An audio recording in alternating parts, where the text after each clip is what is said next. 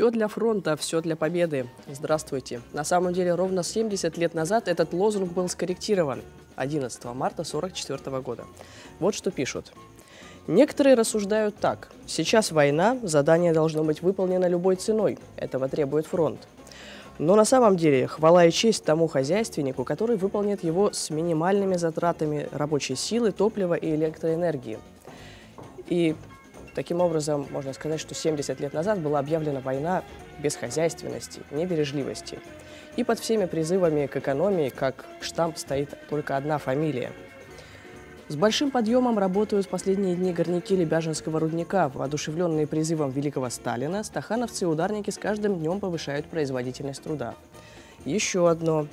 Воодушевленные приказом товарища Сталина, энергетики завода взяли на себя дополнительное обязательство сэкономить полтора процента электроэнергии. А на шайтанском старательском участке Тагильского приискового управления в ответ на призыв великого Сталина с новой силой развернулось социалистическое соревнование – слову, фамилия Сталина упоминается далеко не во всех заметках. Вот, например, есть объявление о консультациях по выращиванию картофеля. Здесь Сталина точно нет.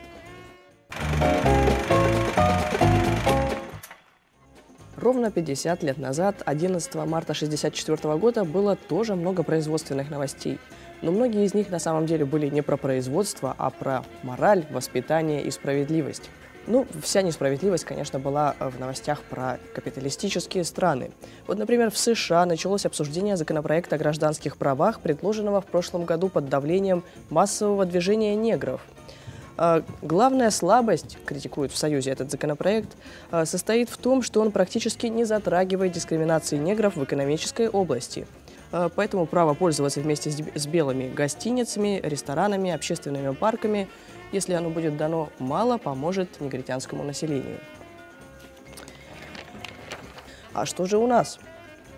У нас главная проблема, похоже даже на производстве, это только воспитание. Вот, например, мне, как бригадиру, хотелось бы сделать еще одно замечание в адрес партийной организации. Плохо у нас ведется воспитательная работа. Не жалуют нас вниманием агитаторы, а люди хотели бы послушать хорошую беседу по материалам декабрьского и февральского пленумов ЦК КПСС.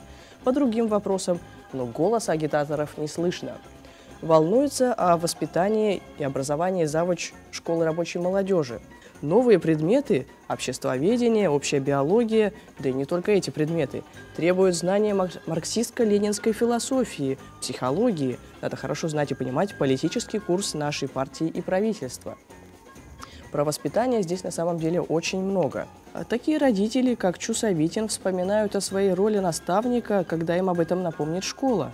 Сын его не выполняет домашнее задание, не любит труд ни умственный, ни физический – а отец парня приходит в школу только по вызову классного руководителя, но толку от таких посещений нет. Может, парторганизация Мартеновского цеха номер 3 комбината спросит с коммуниста Чусовитина выполнение своих отцовских обязанностей?